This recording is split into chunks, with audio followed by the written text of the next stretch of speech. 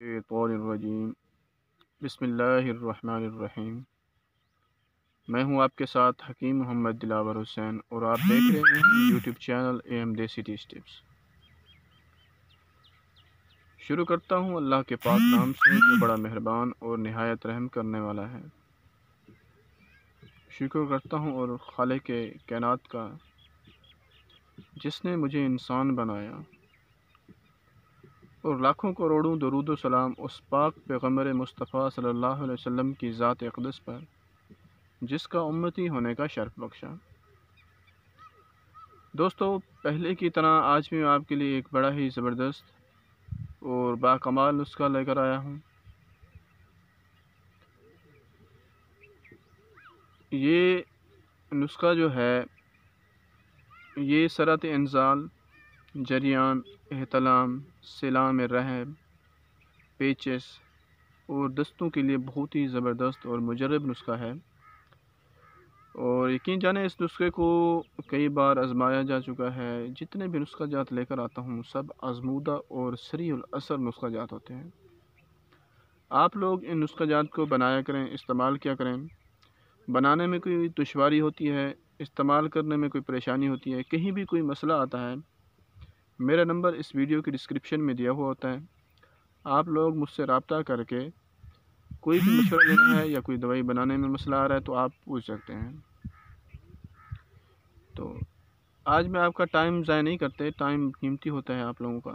तो नुस्खे की तरफ़ आपको लेकर चलता हूँ। बिल्कुल आसान सा नुस्खा है, बनाने में भी बिल्कुल आसानी है।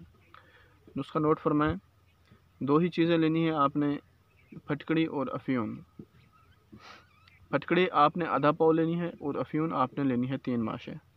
दो चीज़ें। एक फटकड़ी और दूसरा अफ्यून।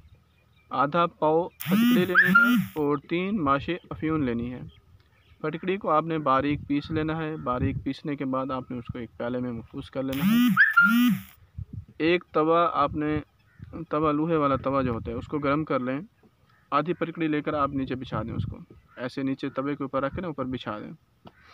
उस बिछाने के बाद आपने उसके ऊपर फटकड़ी रखनी है और फटकड़ी रखने के बाद बाकी जो आपके पास आधी अफ्यून बची हुई है, वो उस आधी फटकड़ी बची हुई है, वो उस अफ्यून के ऊपर आप बिछा दें।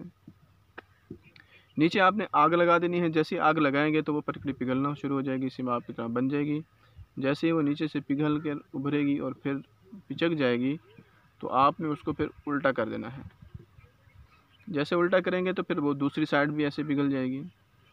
बिल्कुल पिघल जाए जब बिल्कुल आपको लगे कि अब ये बुरादा सा बन गया है, अब ये फटकड़ी बिल्कुल एक कुश्ता सा बन गई है। आप उसको रगड़ के पीस के महफूज कर लें। आपकी दवाई तैयार हो चुकी है, बड़ी कमाल की दवाई बन गई है आपकी। और यकीन जाने, और बहुत ही मुशर्रम नुस्खा है। आपने इसको इस्तेमाल कैसे करना है? आपने दो रत्ती दो रत्ती आपने दवाई लेनी है, दो रत्ती। आप उसको ताज़ा पानी के साथ इस्तेमाल कर सकते हैं और या आपको उसको दूध के साथ भी इस्तेमाल कर सकते हैं। दूध अगर अवेलेबल है तो आप उसको दूध के साथ इस्तेमाल करें। दूध के साथ ज़्यादा फ़ायदा मंद है। दूध अवेलेबल नहीं है तो उसको ताज़े पानी के साथ भी आप इस्तेमाल कर सकते हैं। साथ में आपने जो परहेज़ करना है, वो आपने खट्टी वाई बादी चीज़ों से परहेज़ करना है। और दो बातें जो मैं आपको आखिर में बताता हूँ। एक, अगर आप मेरे चैनल पर न्यू हैं तो जल्दी से चैनल को सब्सक्राइब कर लें। साथ ही घंटी के बटन पर ज़ोर देते हैं ताकि जैसे मैं नए नए वीडियो आप चैनल पर अपलोड करता जाऊँ तो वो वीडियो आप तक पहुँचती रहें। और दूसरी बात, नमाज़ पंजे बनाने की पाबंदी करें, यकीन जाने नमाज़ बहुत ज़रूरी है, बहुत ज़रूरी है नमाज़। नमाज़ यकीन करें, बहुत ही ज़रूरी है। जो इंसान नमाज़ नहीं पढ़ता, जब वो मरेगा, कब्र में जाएगा तो उसकी कब्र बहुत तंग हो जाएगी। मतलब एक साइड की पसलियाँ जो होंगी ऐसे पिचकाएगी कबर और एक साइड वाली पसलियाँ इधर चली जाएँगी, एक साइड वाली इधर चली जाएँगी।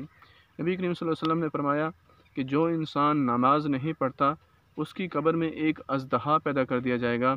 क़्यामत तक वो अजदहा उसको डंग मारेगा, वो इंसान सत्तर गज़ ज़मीन में धंस जाएगा और फिर बाहर निकले वो वो फिर डंग मारेगा। क़्यामत तक ये अज़ाब उस पर मुसलत रहेगा जो इंसान नमाज़ नहीं पढ़ता। यकीन जाने अल्लाह पाक ने हमें ज़िंदगी दिया अगर कोई इंसान हमें दस रुपये दे देता है तो हम उसके इतने शदाई हो जाते हैं, इतने शदाई हो जाते हैं, उस दस रुपये के बदले वो हो गए जो कह दे हम वो करने के लिए तैयार हो जाते हैं। क्या कभी ये सोचा है, ये ज़िंदगी, ये इतना खूबसूरत जिसम, ये इतना पैसा, दौलत अयाश की ज़िंदगी, ये किसने अता की है? ये वो देने वाली ज़ात अल्लाह पाक की है, वो हिसाब नहीं करता तो इसका मतलब क्या हुआ? जो फ़रज़ हैं, उनको पूरा करें। नमाज़ पंजी गाना की करें पाबंदी और अपने भाई को दीजिए इजाज़त। असलकम वरहमल रहमतुल्लाहि व बरकातहू